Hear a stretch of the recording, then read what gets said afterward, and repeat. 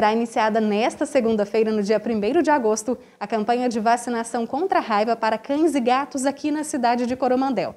Para passar para a gente mais informações sobre essa campanha desses animais aqui no município, eu falo neste momento com Fernando Santos Costa e também com a Larissa Alves. Fernando, é importante a gente falar da vacinação contra a raiva e a importância também dessa vacinação para cães e gatos machos e fêmeas, né? Nesse momento, qual que é a idade mínima desses animais para essa vacinação em Coromandel? Então, Clarice, a idade mínima para estar tá se vacinando o cão e o gato é a partir de três meses de idade. É, a gente pede essa, essa data, né? esse período, para estar tá vacinando o seu animal pela primeira vez. E aí, é, esses animais primo vacinados, com 30 dias, eles têm de tomar um reforço, uma segunda dose. Quando você fala desses animais primo vacinados, só para a gente entender no geral também, né? São os animais que vão ser vacinados pela primeira vez? Isso, o animal primo vacinado é o animal que vai, vai estar tá recebendo a primeira dose da vacina em sua vida. Os demais que já receberam em anos anteriores não precisam, é só uma vez e essa vacina acontece anualmente. Isso, os demais que já tomaram anteriormente, é só a vacina anualmente. E lembrando que essa vacinação é ofertada aqui pelo Sistema de Saúde, também de Coromandel, né, por vocês que coordenam também esse departamento, de forma gratuita, né, a população também que é tutora desses animais. E ela será iniciada a partir da próxima segunda-feira de forma gratuita na zona rural do nosso município. Né? Qual vai ser o horário de vacinação e quais os principais distritos que vocês estarão passando aqui por Coromandel? Então, Clarice, a campanha vai começar segunda-feira, dia 1 de agosto. É, na zona rural ela vai até o dia 29.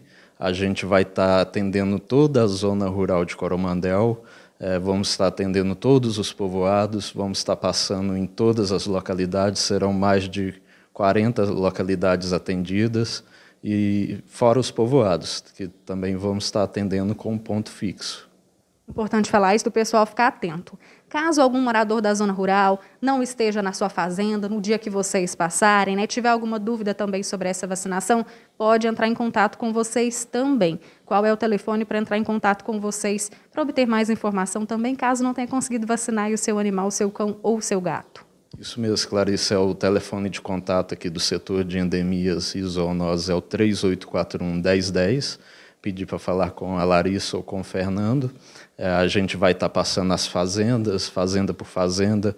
Aquela fazenda que estiver fechada, a gente vai estar tá deixando um comunicado com toda orientação, com um telefone de contato. A pessoa pode estar tá entrando para a gente ver a situação.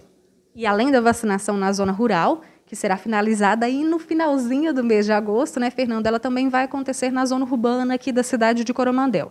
E ela será começada quando aqui na zona urbana do nosso município? Sim, aí finalizando a campanha na zona rural, dia 30 de agosto começa a campanha aqui no dentro do, da cidade.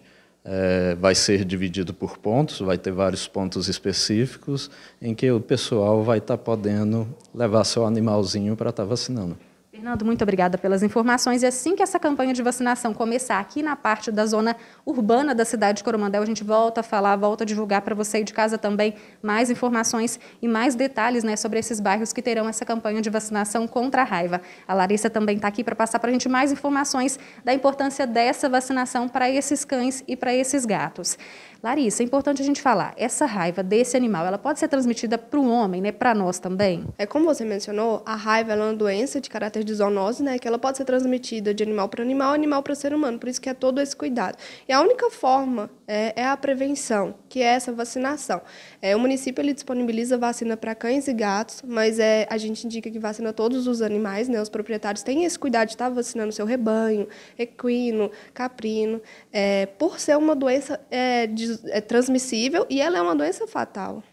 E quando a gente fala dessa vacinação também, a gente fala de sempre os tutores levarem os seus animais aos pontos, como a gente citou, na parte da zona rural e depois, posteriormente, na parte da zona urbana. Falando agora, Larissa, sobre os animais em situação de rua. Eles também poderão ser imunizados e, se puderem, qual é a recomendação especial para quem quiser ajudar esses animais também em situação de rua?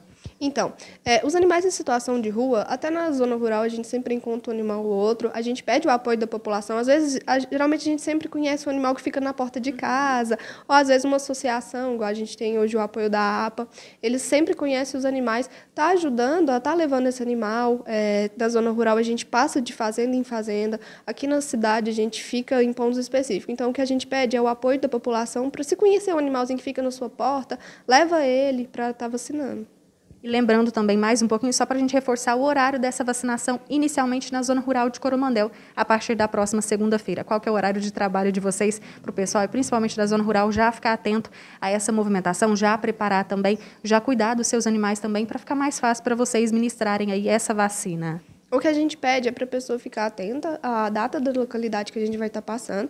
A partir das sete e meia a gente pode, depende do horário que a gente consegue chegar na localidade, mas a partir das sete e meia a gente já está indo e ficar o dia todo. Geralmente a gente fica até as quatro, cinco horas da tarde. Larissa, quando a gente fala né, sobre a raiva em humanos e em animais, vocês já registraram alguns casos desses em Coromandel nesses últimos tempos? Sim, Clarice. É, nesse, é, nesse, ano, a gente já recebeu dois casos de animais positivos confirmados, é, dois bovinos. Por isso que a gente sempre fala da prevenção, né? A única forma de prevenir a raiva é fazendo a vacinação. E por isso que é, eu falei para você que a importância de vacinar o seu rebanho também, não só o cão e gato. Já falando um pouquinho sobre a raiva, né? Até para a gente alertar a população da zona urbana e também da zona rural, quais são os principais sintomas aí da doença? Então, a raiva, geralmente a gente sempre conhece o nosso animal o animal vai estar estranho, é, ele vai ter dificuldade de deglutir, salivação excessiva. E a salivação, a gente tem que tomar muito cuidado, que a carga viral ela está presente na saliva do animal. Então, a principal fonte de contaminação e de transmissão da doença é pela saliva. Aí vai, você coloca a mão na saliva, é, uma arranhadura do animal, uma mordedura, por isso a gente tem que tomar muito cuidado. O que, que a gente faz nesse primeiro momento, quando a gente vê esses sintomas iniciais da raiva nesse animal? Quais são os principais procedimentos? Clarice, o mais importante, isolar o animal, não tocar no animal, seja ele da sua propriedade suspeito ou naquele animal é, que seja notou diferença e ele chegou na sua fazenda, porque geralmente acontece muito de aparecer um animal na fazenda, é, isolar ele, não colocar, é, tocar direto no animal, chamar um médico veterinário para estar tá fazendo avaliação, porque só o médico veterinário é capaz de fazer essa avaliação.